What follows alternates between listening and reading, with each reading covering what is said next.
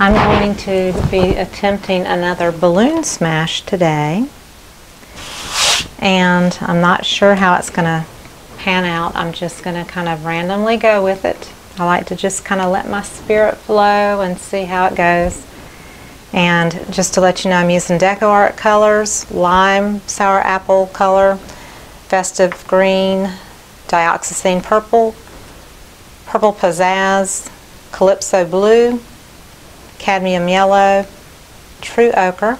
So that's those are in the bottles, black and white, and then I've got some in cups. Some has silicone in it, some doesn't. The DecoArt um, and the Calypso Blue.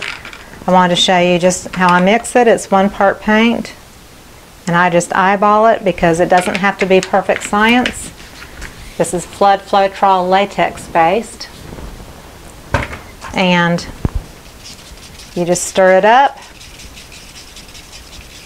and you want it to be to the consistency of melted ice cream or warm honey pouring off a stick. You don't want it to stick to your stick like a clump, then it's too thick, and you don't want it to, to drip off your stick like water because then it's too watery. So you want it to pour off your stick in a steady stream.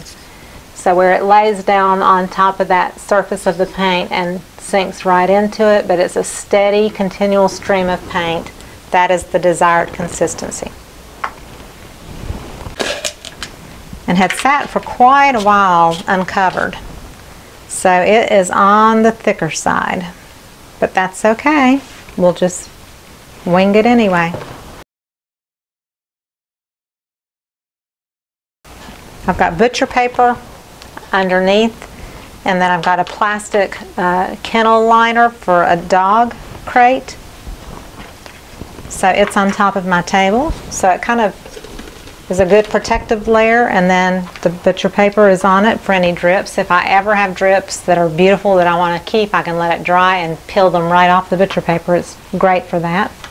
So I have my little handy little palette knife that came from Jerry's Artorama. It's got an oval blade, which is what I really like. It's about an inch and a quarter maybe. It's perfect for small swipes. I'm going to try one out first and this is going to be totally hit and miss. What I'm going to do is do a puddle of gold, this true ochre color. Do the yellow on top. Then I want a ring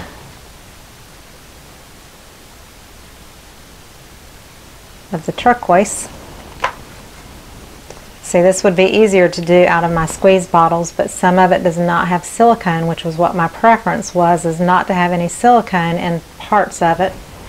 So that's why I am using the cups because I could mix, you know, fresh paint without silicone, and all my bottles have silicone in them.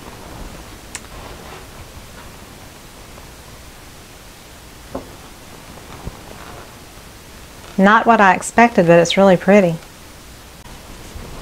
I wanted to see what would happen with my little mini blower.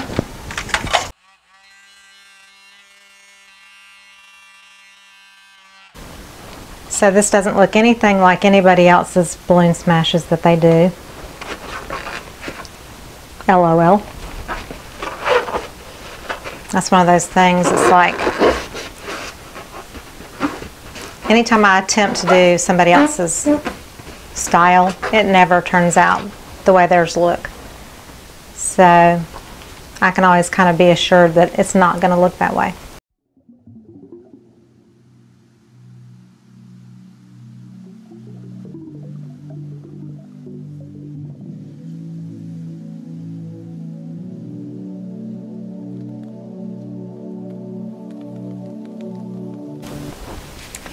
Think the key too is to have enough white underneath because the white is not thick enough. So I'm going to add more white real quick.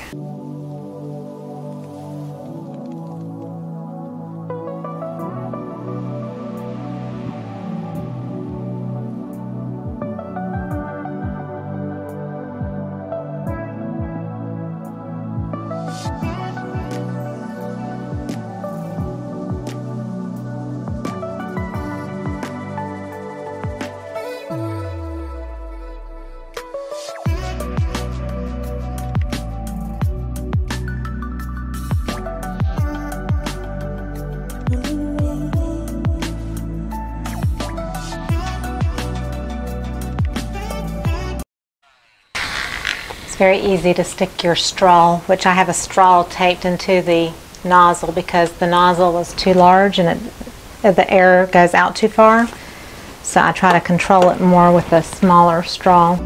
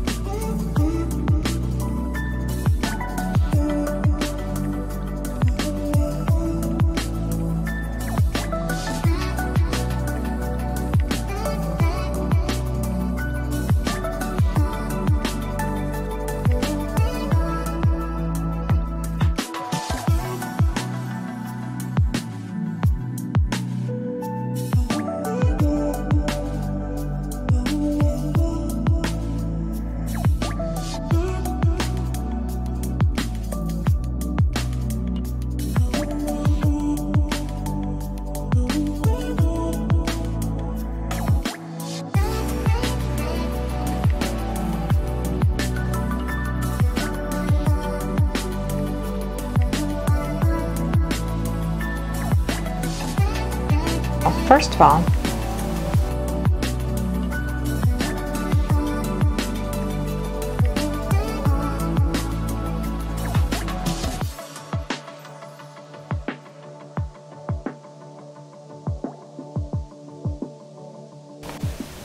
just a dot of black. And a bigger dot of green and then line and let's I'm going to pull out the yellow in a bottle that has silicone in it and put a dot. And let's try this. If I want to do the palette knife or how I want to do it.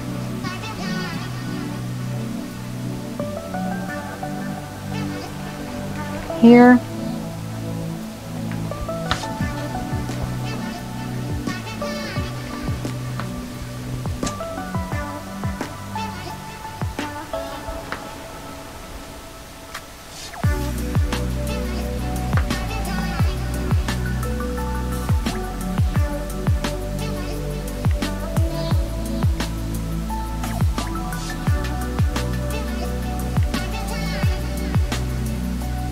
goes similar and looks either way. So I'm going to bring out my bigger palette knife that is uh, it's kind of like a rectangle with curved edges. So no sharp edges on it. So I can make my leaves just a little bit bigger.